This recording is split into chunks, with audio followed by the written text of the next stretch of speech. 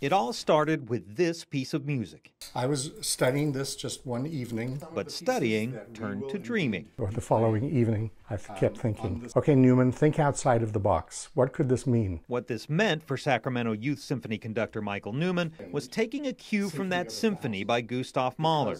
The title of that piece, dubbed the Symphony of a Thousand, wasn't meant to be taken literally.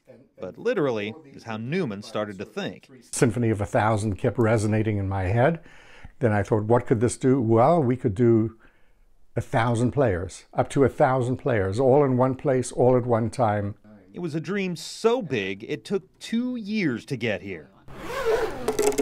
Where the young, experienced musician I've been playing for about seven years. And the experienced adult who decided late in life to pursue music again. Because I didn't have my own bassoon and they were very expensive, I didn't play for 43 years. Prepare to meet on the stage of Sacramento's Memorial Auditorium. Karen Hung plays the bassoon, and her granddaughter, who is in the Youth Symphony, told her about the project. She said, Grandma, guess what we're going to do? And I'm inviting you.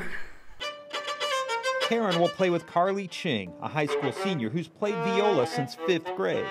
I was kind of like surprised at the idea that we would have 1,000 people playing in a huge symphony. But play they will, because in short order, the symphony had 1,000 musicians. And rather than that Gustav Mahler symphony, some national anthems. Neumann has hand-picked pieces you will recognize, played in three acts, year. from the beginner to the intermediate and the advanced.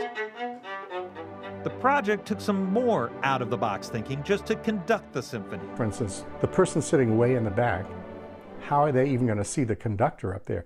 Well, we have a, a real-time uh, camera that will show uh, the footage just of the conductor so that somebody in the back can see this 12-foot screen with a conductor so that they can at least keep time. And the musicians arrived at the auditorium for their one and only rehearsal. Less an orchestra pit and more an orchestra floor. That's going to be some air moving, and it's going to be, like I said, and it's an experiment, and it's going to be unfolding minute by minute, and we'll see what happens.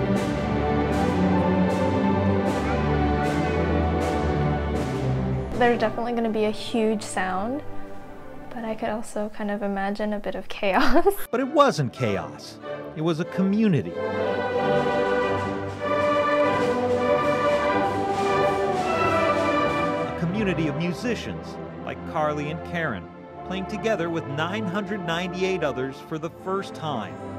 The largest symphony California has ever heard. It was the itch to play again, to see if I can do it.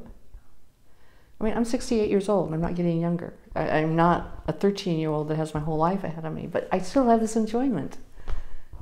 And I can give it to others. I mean, people are hearing about it and thinking, this has never been done in this region, to my knowledge. It involves not just professional musicians or even music students. But, so it is truly uh, a community-wide event. A community event played by a community of musicians.